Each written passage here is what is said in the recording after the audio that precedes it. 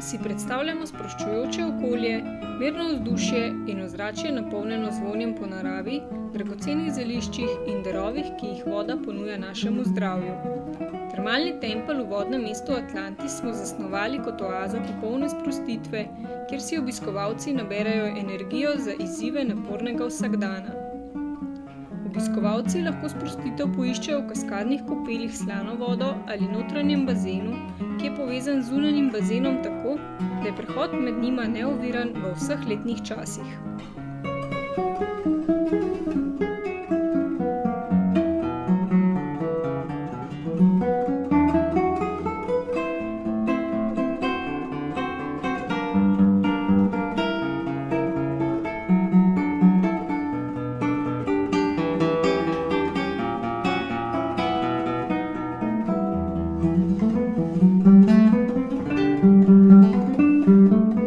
Prvem nadstropju termalnega templja si lahko privoščite tajsko masažo ali solari, v pritličju pa okusite bogato gostinsko ponudbo.